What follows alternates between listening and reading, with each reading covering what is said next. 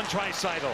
The Oilers are away, shorthanded. Spring pass. It's McDavid right in. He's hammered. We'll see. Penalty shot for Connor McDavid. McDavid was in all alone. Then the stick ended up getting caught into the right arm. Connor McDavid is center stage on Matt Murray with 2.35 left in the second period. Here comes McDavid. He'll delay.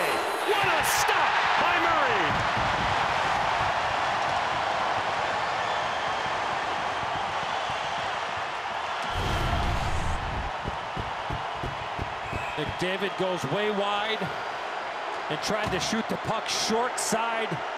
There was some room up top, but he never got this puck elevated. Maybe got a foot and a half off the ice at the most. There's room up top, but just not able to throw those hands, open up that stick plate towards the crossbar, and Murray flashes the leather and stops Connor McDavid on the penalty shot.